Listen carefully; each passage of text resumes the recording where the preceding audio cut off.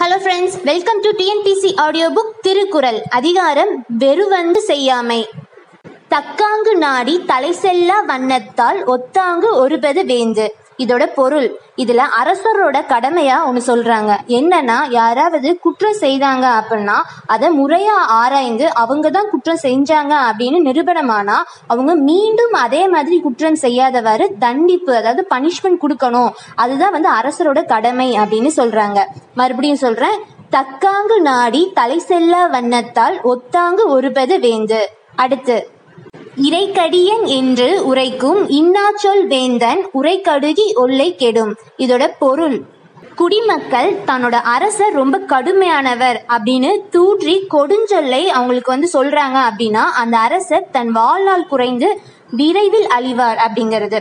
மறுபடியும் சொல்றேன் இறைக்கடியன் என்று உரைக்கும் இன்னாச்சொல் வேந்தன் உரைக்கடுகி ஒல்லை கெடும். Thank you friends for listening to TNPSC audio book உங்களுக்கு இந்த வீடியோ பிடிச்சிருந்துச்சுன்னா லைக் பண்ணுங்க சப்ஸ்கிரைப் பண்ணுங்க and also bell button press பண்ண மறந்துடாதீங்க.